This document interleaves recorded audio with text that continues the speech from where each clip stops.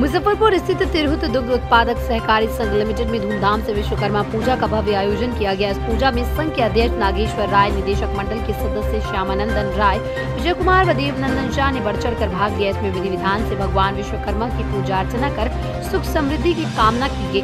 इस दौरान संघ के सेवकों की सुविधा के लिए संघ के मुख्य गेट पर कैनरा बैंक का एटीएम खोला गया। संघ के अध्यक्ष निदेशक मंडल के सदस्य व कैमरा बैंक के पदाधिकारी ऋतुराज अनिल कुमार झा ने संयुक्त रूप से एटीएम का विधिवत उद्घाटन किया। इस मौके पर संघ के प्रबंध निदेशक एच एन सिंह, वरीय पदाधिकारी प्रभाकर सिन्हा नवीन कुमार, फूल Kumar Jha, Umakant Thakur, Jai Kumar Panjikar, Mukul doctor S B Hazarika, Rajeev Kumar, Sunil Kumar, Pratima Sinha Vivek Kumar Jha, Adarsh Kumar Jha, Vijay Kishore Rajshekhar Shivshankar Prasad Singh, Subodh Kumar Nand Kishore Prasad के साथ साथ सैकड़ों कार्यकर्ताओं ने भाग लिया।